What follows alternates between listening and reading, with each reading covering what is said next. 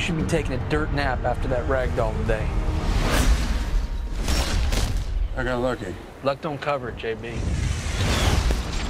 You got an angel looking after you. Maybe it's something else.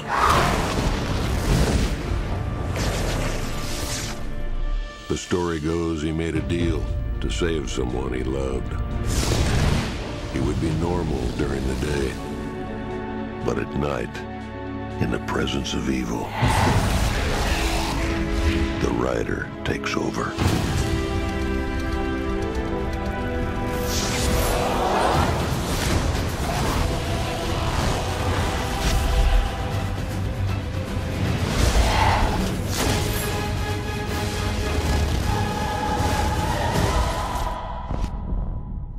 I'm the only one who can walk in both worlds. I'm Ghost Rider. Let's ride.